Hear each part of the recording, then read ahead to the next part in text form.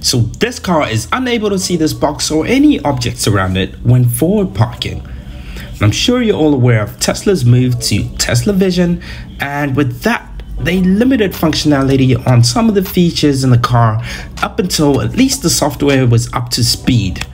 So this was meant to be a short transition announced back in October 2022, but here we are in February 2023 with cars still being rolled out without some of this basic functionality.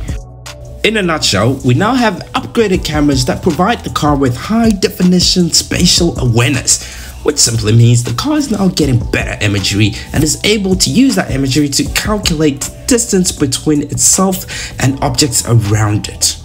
The cameras only show you what's behind and what's to the sides. Nothing shows you what's ahead. For that, you have to look over the Model 3 sloped hood, which makes it very hard to gauge distances.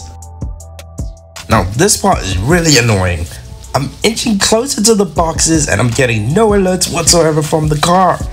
I'm inches away. Bam! Nothing. Radio silence. Now let's rewind that, play that back, and I'll show you what it looks like from the vantage point of the driver. Inside the car, traveling at less than one mile per hour, sensing nothing around me. Bam! Again. And you can see I'm running on the latest software, so really, really, really hoping that they drop that new update as soon as possible, because I need this.